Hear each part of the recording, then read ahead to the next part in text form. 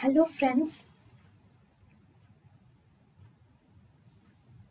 Welcome to Creative Medicine.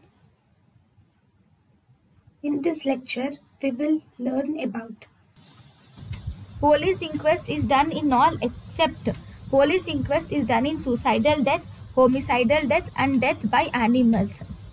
But in dowry death, magistrate inquest is done in dowry death.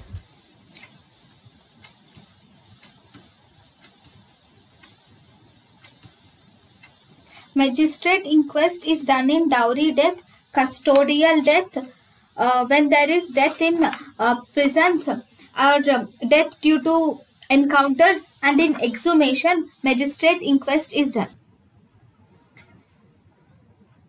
thank you and thank you for watching.